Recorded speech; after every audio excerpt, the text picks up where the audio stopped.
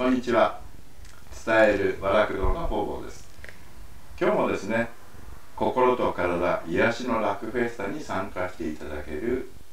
今日はあゆみさんというとても優しい絵を描く方ですね、まあ、ご本人からあとはいろいろと内容とか思いなんかも伝えていただきたいと思いますのでじゃああゆみさんよろしくお願いいたします。まず名前から解説をお願いします。パステルアート作家のあゆみです。今私はとチョーク状の画材パステルを使って癒しの絵だったり車のフロントガラスをリサイクルして作ったディンディンプル絵の具っていうものを使ってワークショップを行ったりしております。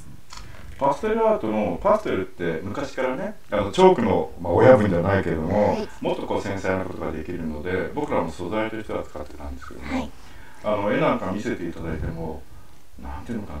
まあ、粉ですよね、はい、とっても優しい粉がこういう色と絵を描いてくれるので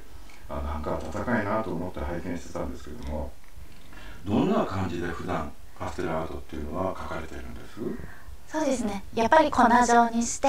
指先につけて優しい気持ちでこうくるくるくるくると画用紙を撫でる感じで描いています。指先がね筆代わりじゃないけど、はい、あそれ今日僕初めて聞いたななんかすごいですね自分の肉体の一部でね絵を描いていく。はいまあ、このパステルアートはあの絵を拝見しててもすごく優しさとかね温かさとか今日もあのちょっとねそのサムネイルなんかにもあの言葉として入れてるんですけれども慈しみと優しさを癒しの色で伝えるっていうねこの色っていうのがさっきちらっとお話聞いたらすごく大切にされてるみたいなんで。色でどんなふうなこう伝えるっていうのかなそんな思いでいらっしゃるのかなと思ったんですけども。そうですね色っていうのは本当人それぞれ好きな色があったりすると思うんででその好きな色とかって正解っていうものはないと思うんです自分の心の中で赤が好き黒が好き何でもいいと思うんで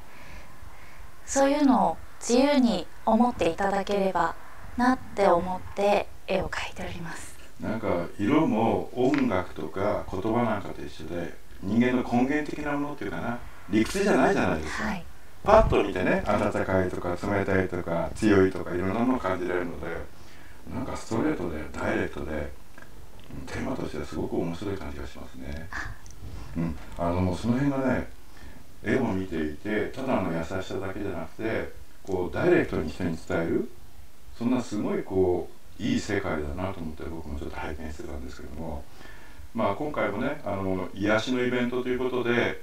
まあ、あのカウンセリングをなさったり占いをしたりあとはあのマッサージをする方もいるしで絵というねちょっとこう今まであのその今回10人ぐらいの方が大体参加してくださるんですけどもその中にこの絵という形あとはディンプルアートという形で参加してくださるのでちょっともう経路が違うというかなすごく楽しみに僕らもしているのでお客さんもあのその優しい本当に優しい絵なので温かくて包まれるような絵なのでそういうものを見ていただいて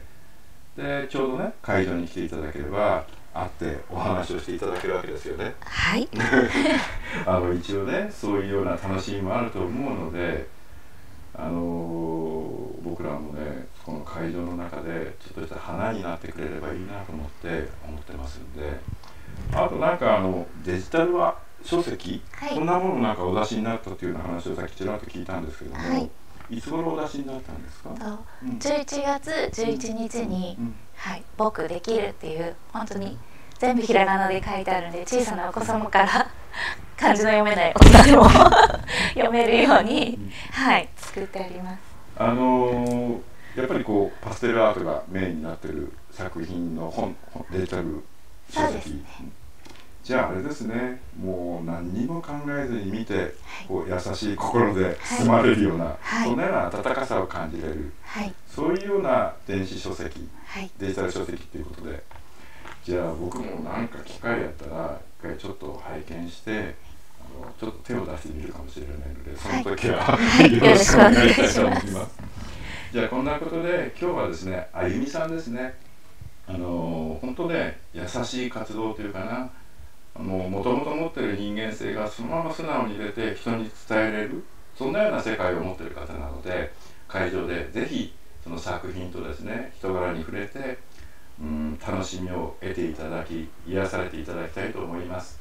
今日もその作品展作品展じゃないですね僕しょっちゅう作品展やってるんですけども癒しのラクフェスタというそのイベントに参加してくださるあゆみさん。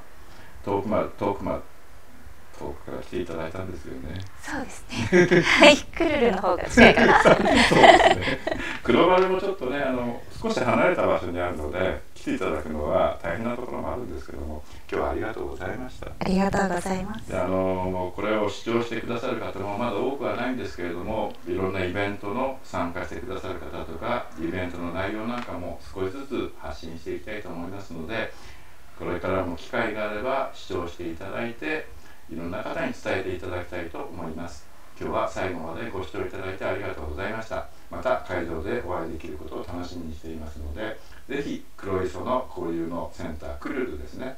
1月15日にお越しいただけることを楽しみにしております。ありがとうございました。